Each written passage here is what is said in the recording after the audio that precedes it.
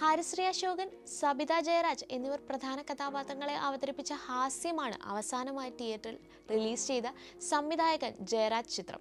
നീണ്ട ഇടവേളയ്ക്ക് ശേഷം നടൻ സുരേഷ് ഗോപിയുമായി അദ്ദേഹം കൈകോർക്കുന്നു. രണ്ടായിരത്തി ആറിൽ പുറത്തിറങ്ങിയ അശ്വരൂഢൻ ആണ് ഇരുവരും ഒന്നിച്ച അവസാന ചിത്രം. ആയിരത്തി തൊള്ളായിരത്തി തൊണ്ണൂറ്റിയേഴിൽ കളിയാട്ടം എന്ന ചിത്രത്തിലും ഇരുവരും സഹകരിച്ചു. യഥാക്രമം ജയരാജ് സുരേഷ് ഗോപി എന്നിവർക്ക് മികച്ച സംവിധായകനുള്ള ദേശീയ അവാർഡും മികച്ച നടനുമുള്ള ദേശീയ അവാർഡുകൾ ലഭിച്ചു. olabilecek പുതിയ ചിത്രം തെയ്യങ്ങളുടെ പശ്ചാത്തലത്തിലാണ് ഒരുങ്ങുന്നത്. ഒരു പെരുങ്കളിയാട്ടം എന്നാണ് സിനിമയുടെ പേര്. സിനിമയുടെ ചിത്രീകരണം തുടങ്ങുന്നതിനായി ജയരാജ് അറിയിച്ചിരുന്നു.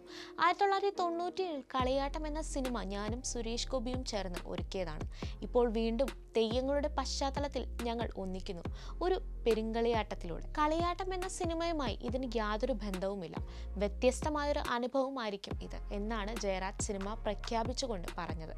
Shine Tom Chacko Anaswara Rajan K G F chapter two fame B S Avinash എന്നിവരും ചിത്രത്തിലുണ്ട്. കാലം മാറിയപ്പോൾ ഞാനും ജയരാജും ഒരുപാട് അനുഭവങ്ങൾ സംബന്ധിച്ചെങ്കിലും കളിയാട്ടത്തിൽ ഓർമ്മകൾ പ്രേക്ഷകരുടെ ഹൃദയത്തിൽ പോലും തങ്ങി നിൽക്കുന്നുണ്ട്.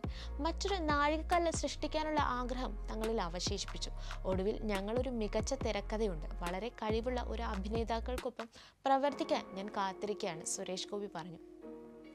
മോഡ്ലി ഫിലിംസിന്റെ ബാനറിൽ ചിത്രം നിർമ്മിക്കുന്നത്. പ്രശസ്ത എഴുത്തുകാരൻ ടി പത്മരാജന്റെ കൃതികളെ ആസ്പദമാക്കി ജയരാജ് സംവിധാനം ചെയ്ത പ്രകാശം പരത്തുന്ന ഒരു പെൺകുട്ടി ഈ വർഷം മാർച്ചിൽ പ്രത്യേക പ്രദർശനം നടത്തിയിരുന്നു.